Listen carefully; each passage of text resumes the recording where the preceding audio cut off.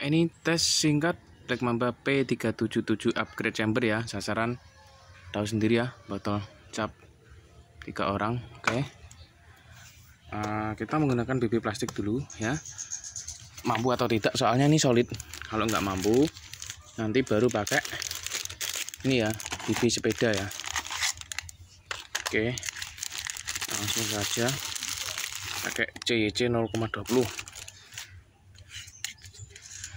satu dua tiga empat. Lima.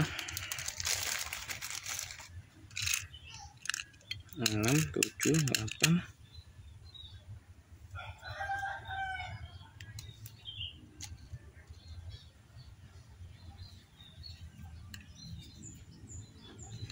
Sembilan sepuluh sebelas. Dua belas dua belas butir ya. Oke mampu atau tidak?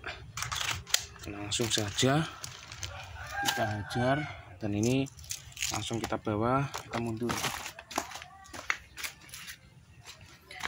Oke jarak segini aja ya 3 meteran lebih dikit.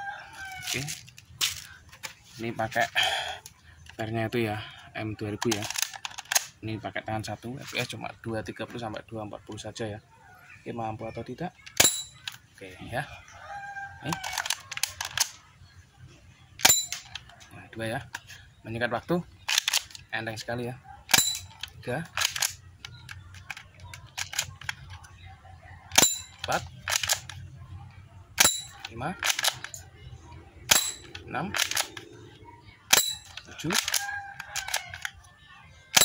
delapan sembilan sepuluh sebelas dua belas. Oke. Nggak kuat ya. Pipinya yang kalah. Oke. Langsung kita isi. Pipi bening eh pipi bening pipi silver. 5 butir aja ya. Nih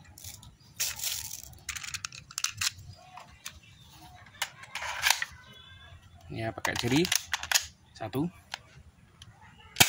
Oke.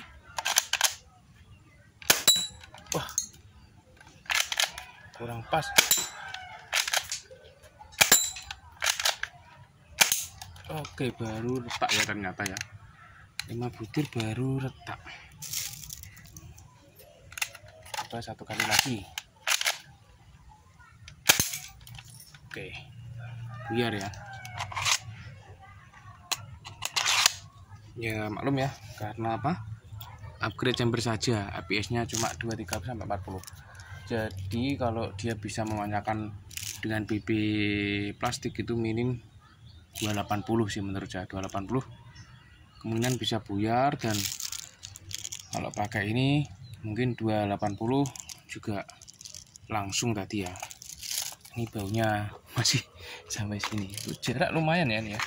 Dari sini 3 meter lebih satu dua tiga nah, ini 3 meter lebih 10 cm atau 15 cm ya ini langsung buyar ya. Nah ini ada masih ada itu apa tuh masih ada kertasnya jadi dia tertahan. Kalau enggak langsung copot tadi ya. Tapi ya lumayan ya. Cuma upgrade yang bersaja. Nah itulah upgrade sesungguhnya ya. Ini kalau uh, tadi saya kasih bar yang keras ya takut pistonnya patah. Dan ini belum saya perkuat apa-apa. Jadi masih pakai yang standar gitu ya. Jadi kekuatannya segitu lumayan. Tapi kalau unit ini standar wah nggak akan bisa nerbangin ini ya. Nggak akan bisa. Pasti turun gitu ya. Ini sudah cakep. Tinggal di repaint dan tinggal dijemput tuannya ya. Oke. Inbar tetap tembaga ya, ya tetap bisa. Lubangnya enteng sekali. Nah ini ya jari satu. Ya kan?